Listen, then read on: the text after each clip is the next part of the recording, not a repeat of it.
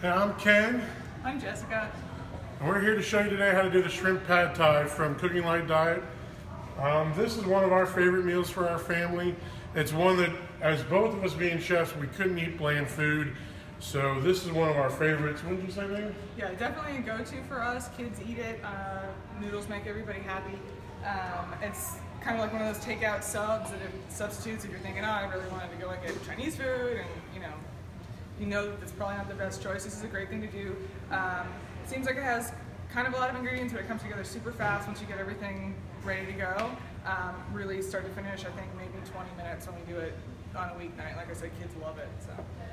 What we've done is we've already cooked off the noodles just for some fun, but if you had noodles from another recipe, you had these in the fridge, it would make it faster for you. We're gonna start making the sauce right now, which, baby, we got the brown sugar, which we measured out already. Yeah, go? Yeah. Okay. Have the recipe here. Sure. We're gonna go ahead and just put the sauce ingredients in the bowl. We have brown sugar. We have some soy sauce. We have fish sauce. fish sauce. Don't be scared of fish sauce. It kind of smells funky, but it really rounds out the flavors and everything. That's awesome. Fresh squeezed lime juice, and then some sriracha for heat.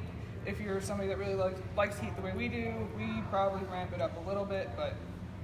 We also sometimes, because we have the kids, we'll, we'll hold off on the spices and then add it later. Once we get to the table, we'll add more. We have a bottle of sriracha on the table at all times. So I'm gonna go ahead and start the flame here. You want like a medium high heat. You put your vegetable oil in here. So, baby, how long have we been doing this diet for, the Cooking Light diet for? So this is a little bit over a year for us. Um, I had started getting the Cooking Light magazine, just really liked the recipes.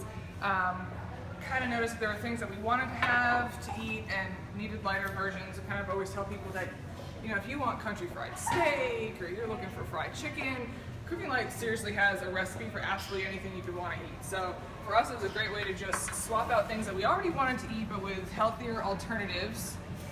Um, so we're what a little bit over a year. Yeah, think total of 115 pounds. Because you've lost 65, I've lost 55, so she's beating me again. Yeah, But uh, that was my plan all along.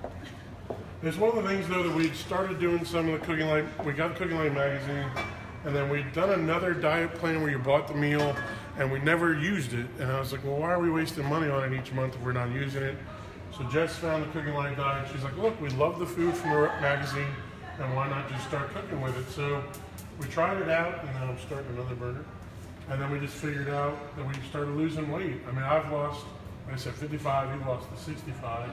And the kids eat everything, so Yeah, we're not having to make stuff for you know us and then stuff for the kids, which is great. Um, and I mean, it's just really, really easy stuff. What really got me first hooked on Cooking Light was when they added that whole feature where you can like take a picture with your iPhone and all of a sudden just goes to your My Recipes, and I was like, okay, this is super cool. And then there was the ad for the Cooking Light diet. I was like, yeah, let me check it out. And you know, as a mom, I'm always looking for a way to get a, a grocery list. Uh, I'm just gonna put the green onions in here and some garlic to saute real quick.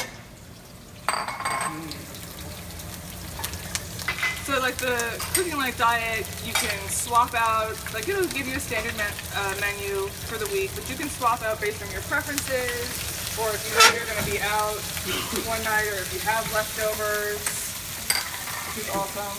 Um, shopping list, the grocery list function is really great, really, really helpful. So we've sauteed the green onions and garlic just a little bit, let them get aromatic. We're gonna go ahead and put our shrimp in. In this case, the shrimp has been cooked, but normally you have a few minutes here where you want to make sure your shrimp is cooked through. So we're just gonna be heating ours up.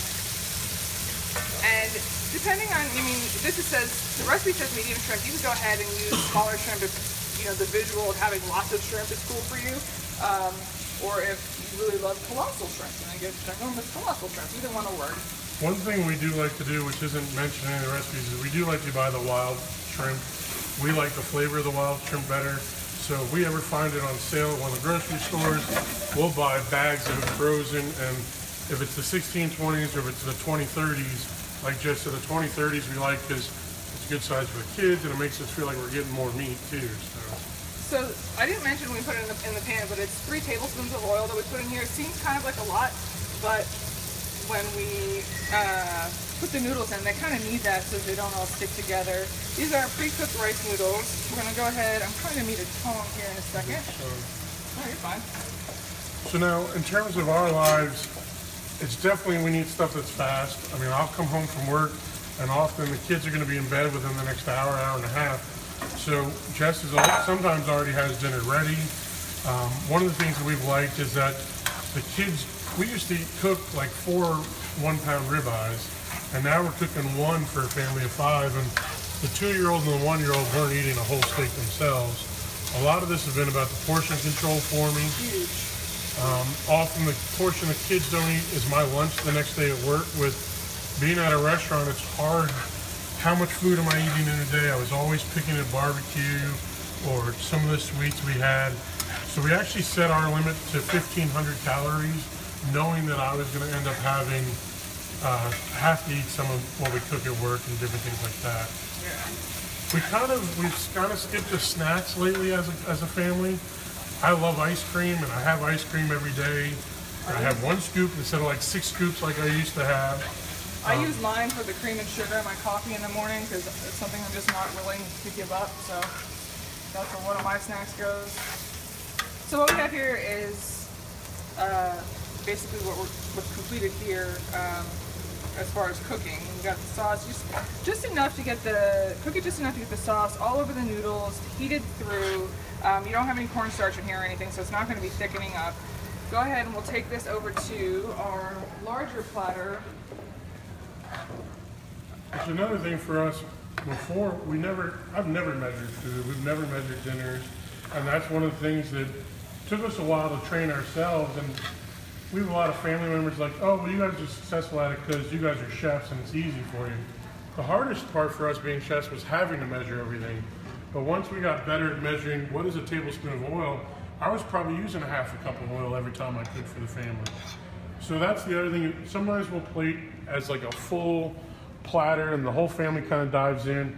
Or if we know that it's something that we're gonna maybe have to watch portion control better, you'll see that we'll, we'll do a smaller portion like you're supposed to.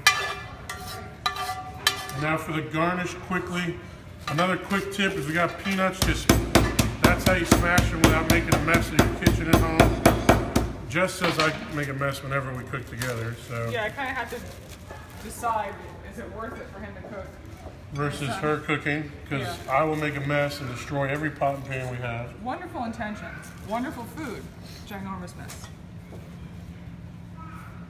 So these are some bean sprouts, fresh bean sprouts. Uh, make sure you're getting good happy bean sprouts because bad bean sprouts can be really slimy and yucky. So we're gonna go ahead and just put some basil on here, some shredded basil. And then serve it with lime wedge. And there you go. And now we hope you enjoyed it. Thanks for cooking Thank with you for us. cooking for us. One of our us. favorites. At a time.